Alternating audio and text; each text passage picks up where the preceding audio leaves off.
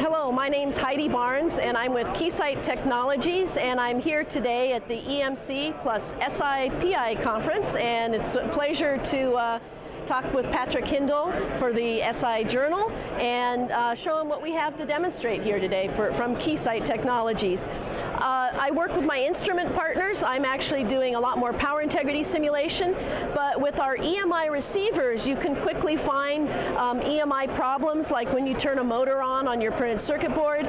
But if you actually have to debug, uh, you need to actually dig into how is that electrical design working, uh, what is causing your EMI noise problem, and that is where simulation comes in. And I have here uh, today, we're showcasing um, our power integrity EM simulation tool in ADS. ADS is our flagship electrical simulation software, and PI Pro, Power Integrity Pro, uh, for EM simulation, uh, lets you bring in a printed circuit board, multi-layer uh, printed circuit board. It's net-based. You can quickly set up your simulation based upon selecting a power rail of choice, um, selecting your input port connector, uh, and uh, identifying the sink, uh, FPGA load, or whatever it might be. What's new for our tool is that we now do conducted EMI and radiated EMI.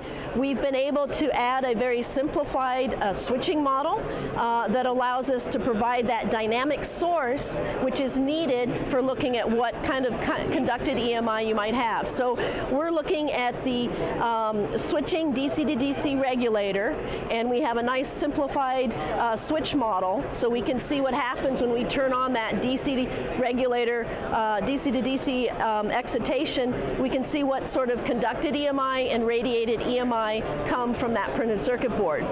And if you're asking where do I get that model for this switching uh, regulator, how do I get the spectral content?